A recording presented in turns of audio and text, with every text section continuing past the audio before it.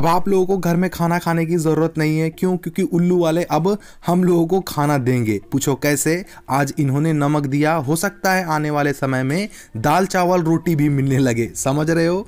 अभी मैं नमक वेब सीरीज़ के ट्रेलर को देख कर आ रहा हूँ और इस ट्रेलर में मुझे क्या अच्छा और क्या बुरा देखने को मिला, यही मैं आज आप लोगों को इस वीडियो में बताने वाला हूँ। तो हेलो एंड स्वागत है आप सभी का।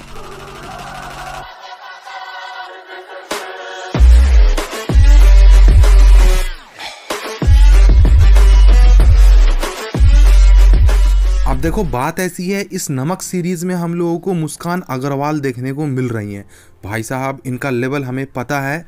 इनकी आप लोग सिंगल सीरीज़ देख लो, जिसमें ये मेन एक्ट्रेस के रूप में काम करती हैं। भाई साहब, वो सीरीज़ आग लगा देती है। इस सीरीज़ के साथ भी हो सकता है हम लोगों को कुछ ऐसा ही देखने को मिल जाए, लेकिन फिर भी काफ़ी लोग इस सीरीज़ के ट्रेलर को देखकर खुश नहीं। जो लोग इस सीरीज़ के ट्रेलर को देखकर खुश नहीं है, उनका सिर्फ़ एक ही कहना है रिपीट कास्टिंग मत दिखाओ। अभी हाल फ़िलहाल मुस्कान अग्रवाल दिखाई गई थी, और फिर एक बार इनकी सीरीज़ आ गई है। तो यहाँ यहाँ पे पब्लिक इसी चीज़ से काफ़ी ज़्यादा खफा है। खफा का मतलब समझ में आया? मतलब पब्लिक इस सीरीज़ के कास्टिंग को लेकर खुश नहीं है। और बात रही मेरी तो मैं भी दाल चावल खाकर थक गया हूँ। कभी तो बिरयानी लाओ जो मज़ा बढ़ा दे। सीरीज़ में आप लोगों को मुस्कान अग्रवाल देखने को मिल रही है। तो भाई साहब, आप लोग ये मानकर चलो कि सीरीज़ में सीन होंगे। सीरीज़ में सीन ना हो, ऐसा हो ही नहीं सकता। सीरीज़ में आप लोगों को अच्छा खासा मज़ा आएगा। जो लोग मुस्कान अग्रवाल के फ़ैन हैं, उनको ये सीरीज़ काफ़ी काफ़ी हद तक पसंद आने वाली है। सीरीज़ में आप लोगों को सीन दबा के देखने को मिलेंगे, लेकिन सीरीज़ की स्टोरी मुझे उतनी ज़्यादा प्रॉमिसिंग नहीं लग रही है।